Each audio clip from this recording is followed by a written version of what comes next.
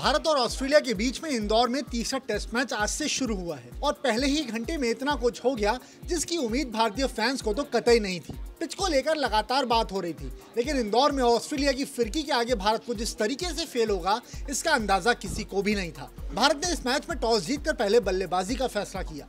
और इसके साथ ही ये लग रहा था कि टीम इंडिया बोर्ड पर एक बड़ा स्कोर लगाएगी। लेकिन रोहित शर्मा का ये फैसला एक ब्लंडर साबित हुआ। पहले सेशन में ही टीम इंडिया की वो स्थिति हो गई, जो पिछले कुछ मैचेस में ऑस्ट्रेलिया की हुआ करती थी। अभी सौ रन का आंकड़ा भी पार नहीं हुआ था और टीम इंडिया के सात विकेट गिर चुके थे। शुरुआती दो घंटे यानी कि पहले सेशन में टीम इंडिया ने सिर्फ़ चौरासी रन बनाए।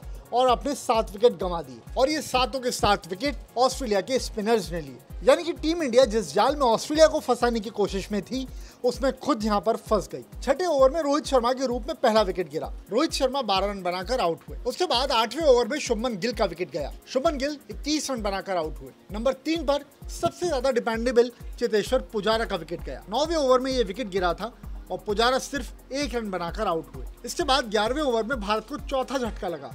और ये झटका रविंद्र जडेजा के रूप में था। अगले ही ओवर में भारत को एक और झटका लगा। यहाँ श्रेयस अय्यर बिना खाता खोले पवेलियन लौट गए। इसके साथ ही भारत का स्कोर 45 रन पर पाँच विकेट हो गया था। अब उम्मीदें सबको विराट कोहली से थी, क्योंकि विराट कोहली लगभग 50 से ज़्यादा गेंदें खेल चुके थे और क्रीज पर मौजूद थे। पिच को अच्छी तरह से समझ रहे थे, लेकिन टॉड मर्फी की एक गेंद पर विराट कोहली भी एलबीडब्ल्यू आउट हुए। इसके साथ ही भारत को 70 रन पर छठा झटका लगा। विराट कोहली के विकेट के बाद में 25 ओवर में के भरत भी अपना विकेट गंवा बैठे। इसके साथ ही बयासी रन पर भारत को सातवां झटका लगा।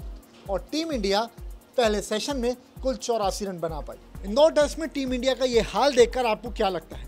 क्या ऑस्ट्रेलिया का भी हाल ऐसा ही होगा?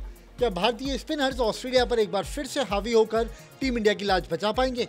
प्लीज़ कमेंट ज़रूर कीजिएगा। ये वीडियो पसंद आए तो उसको लाइक करें शेयर करें और क्रिकेट की खबरों से जुड़े रहने के लिए खबर विभाग को सब्सक्राइब करना ना भूलें।